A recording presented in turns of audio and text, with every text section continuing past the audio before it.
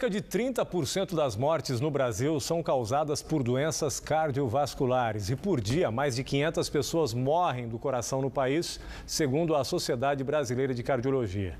Para alertar sobre a prevenção, foi criada a campanha Setembro Vermelho. E esse é o tema da nossa entrevista de sábado.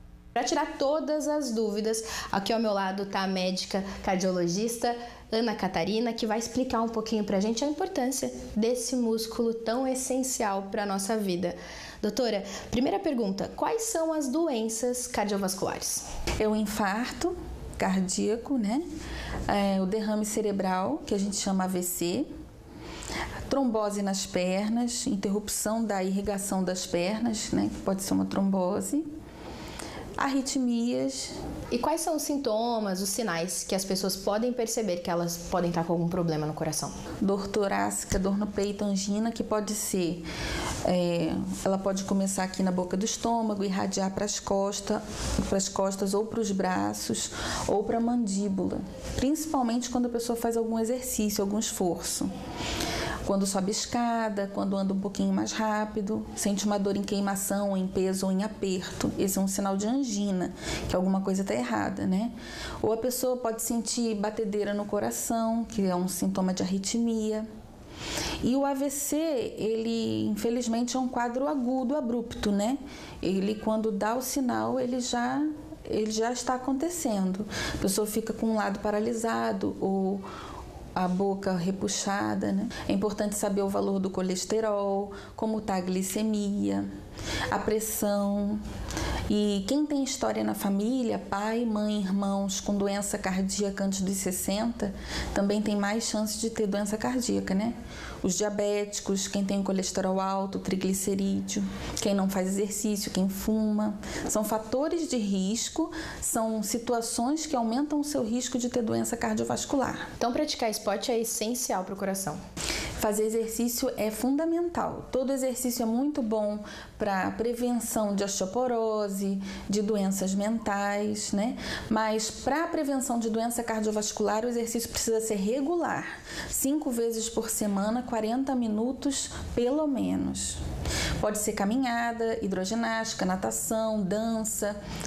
É, musculação, exercícios aeróbicos, né? Infelizmente, por causa do nosso estresse do dia a dia, né, da má alimentação, do sedentarismo, as doenças estão ficando cada vez mais precoces.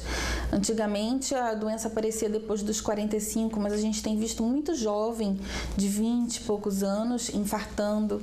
Eu tive um paciente que foi fazer cirurgia de ponte safena com 35 anos. Né? Então realmente está ficando mais precoce.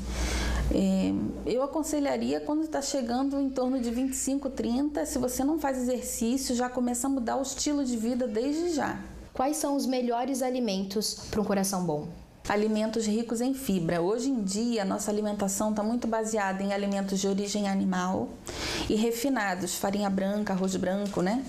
Mas é muito importante as fibras, porque as fibras diminuem o colesterol, diminuem a pressão arterial, melhoram o controle da glicemia, ajudam a eliminar metais pesados, agrotóxicos através das fezes. Então, a pessoa tem que procurar consumir pelo menos 50% da alimentação diária rica em frutas, verduras, legumes, alimentos bem naturais mesmo. Nós falamos a questão de alimentação, falamos de praticar esportes, mas tem como separar alguns cuidados mais importantes para ter um coração saudável? Quem não pratica exercício, começar a praticar. Quem fuma, deixar de fumar é muito importante.